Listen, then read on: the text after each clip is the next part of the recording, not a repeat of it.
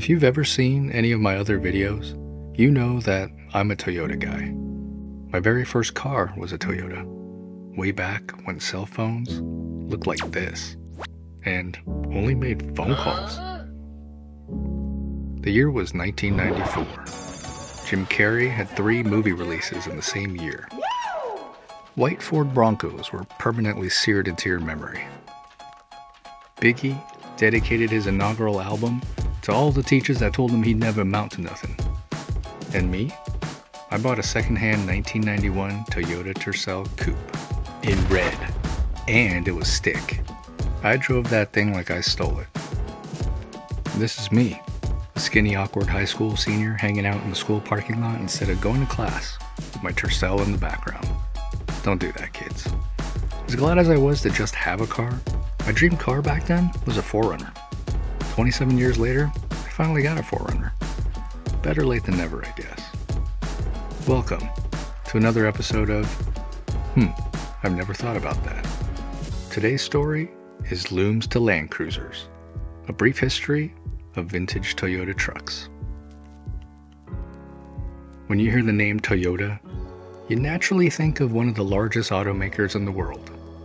But they didn't always make cars. Toyota as we now know it is the culmination of decades of vision, passion, and perseverance. So, if we're going to be talking about the history of Toyota trucks, we really have to start at the very beginning.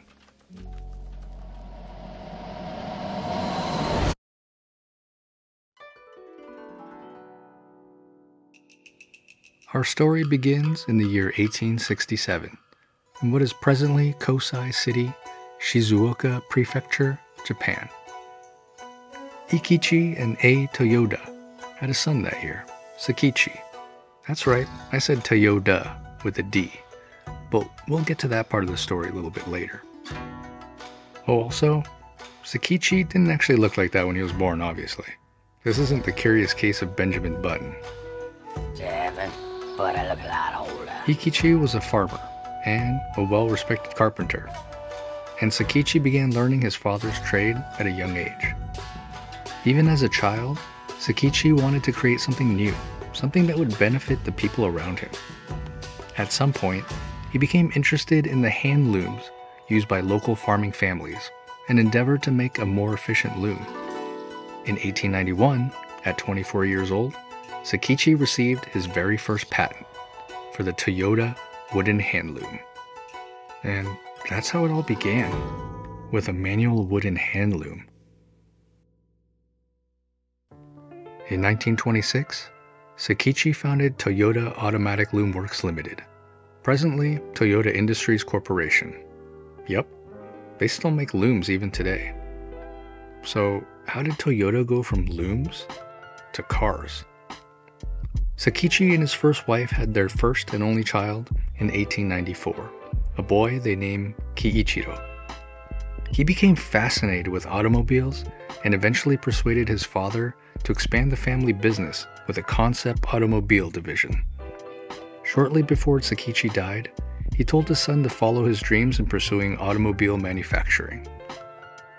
Kiichiro began setting up shop in 1933, and two years later, Toyota produced its first prototype, a sedan known as the Model A1. However, the first Toyotas that were available to be sold were actually trucks. The Toyota Model G1 debuted at a motor show in Tokyo in November of 1935. A month later, it was made available to the Japanese public. Nowadays, the brand Toyota is synonymous with the word reliability, but that wasn't the case with the G1. In fact, the show cars that were driven to Tokyo were packed with spare parts in the event that something failed, and apparently a couple failures did occur. Early purchasers of the G1 really just wanted to support a domestic automaker and were willing to put up with the breakdowns. To do right by their customers, Toyota would send design engineers from the factory, along with the repair team, to learn which parts required the most attention. Of course, all the repairs were free of charge to the customer, and Toyota even replaced the entire truck when needed. The G1 was a rear wheel drive, 1.5 ton truck with a two door cab and featured a 3.4 liter inline six cylinder engine that produced 65 horsepower at 3,000 RPM. In 1937, the Toyota Motor Company Limited was established. So, why the slight variation in name? Most of the reason behind that name change lies in superstition.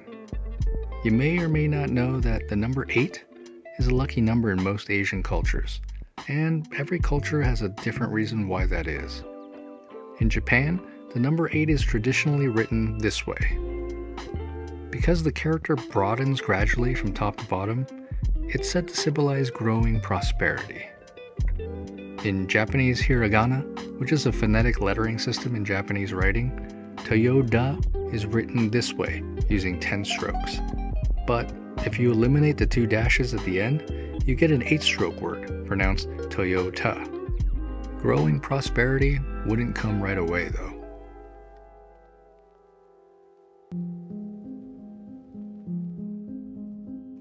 In the same year that Toyota Motor Company was founded, the Japanese began a full scale invasion of China. During that second Sino Japanese War, the Japanese government restricted automotive production in favor of products for the Imperial Japanese Army. Those restrictions would continue through World War II, and during the war, Toyota produced several different military trucks, some of which were four wheel drive. Toyota was able to start production of automobiles soon after the end of World War II. But with lingering anti Japanese sentiment around the world and a rocky domestic economy in Japan, Toyota's sales dwindled, leading to Kiichiro's resignation in 1950. Sadly, Kiichiro wouldn't live long enough to see Toyota become successful. He died in 1952. his cousin and confidant Eiji would take the reins and transform Toyota into a globally recognized automaker. After the war, Toyota completed a prototype of a quarter ton truck that they called the Model BJ, but most people referred to it as the Toyota Jeep. I mean, look at it. Since the name Jeep was already a registered trademark of Willys Overland, the name Land Cruiser was adopted in 1954. One year after the birth of the Land Cruiser moniker, Toyota began producing a second generation of these Jeep inspired 4x4 vehicles, designed for the civilian market. The FJ20 series of Land Cruisers were produced to compete with offerings from Jeep and Land Rover until 1960, when they were replaced by the FJ40. This iconic generation of Land Cruisers were produced all the way until 1984 except in Brazil, where they were made until 2001. Then came the FJ 55, nicknamed the Iron Pig, in 1967. There would be many more versions of the Land Cruisers to follow. If you're interested in Land Cruiser history, you should check out the Land Cruiser Heritage Museum, located in Salt Lake City, Utah.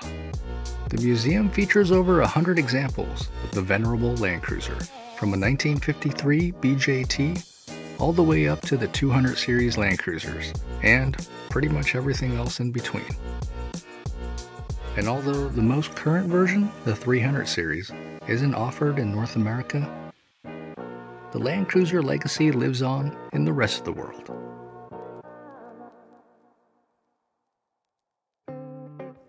Around the same time as Toyota adopted the Land Cruiser name, they began producing pickup trucks. This family of trucks would later be known as the Hilux in most of the world, but the first model was dubbed the Stout. Although a few iterations of the Stout sold relatively well in other parts of the world, it wasn't very popular in the US. For a brief period of time, the US market had a Hilux, but Toyota pickups wouldn't gain notoriety until the 1980s.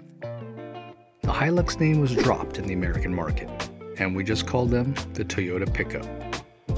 In 1985, a Toyota SR5 pickup was featured in the hit movie Back to the Future, with KC HiLiTES and all.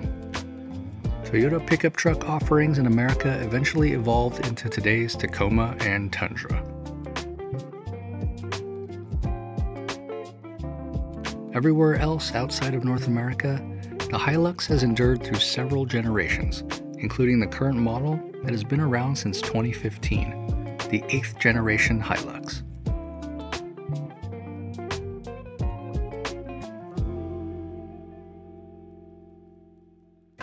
Let's back up though and take another look at Marty McFly's SR5, also known as the fourth generation Toyota pickup.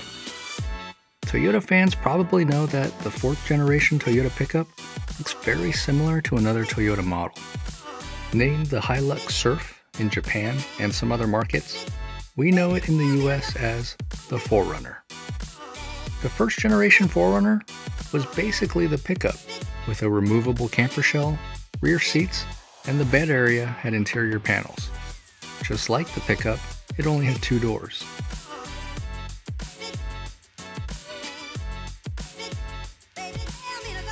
The 4Runner is currently on its fifth generation, with a highly anticipated sixth generation due sometime in the near future. And it's about damn time, since the fifth gen 4Runners have been around since 2010. What in tarnations? If that ain't milking it dry, I don't know what is.